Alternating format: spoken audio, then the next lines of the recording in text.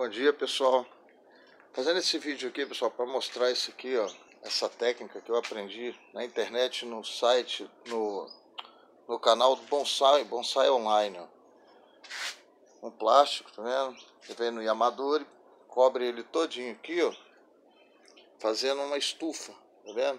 Mas o vídeo que eu quero mostrar, no vídeo que eu tô querendo aqui mostrar para vocês é isso aqui ó, a técnica pessoal, dá certo ó vendo ali uma brotação aqui, ó. Eu tirei toda a raiz, foi do pé de limão. Capeta que eu tirei lá da casa do vizinho, que eu cortei ali. Tá vendo? Brotou, pessoal. Já brotou, porque ela ela diminui a desidratação da planta. É aqui, ó. Vou estar tá cortando para mostrar para vocês, ó.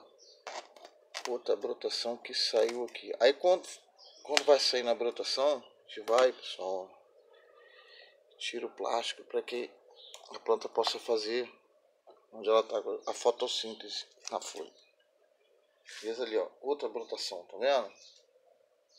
Nossa, pô, mas não tem raiz, mas ó, tá saindo. Aqui atrás só tem outra aqui, ó. Eu já vim aqui, já olhei, já vi, ó.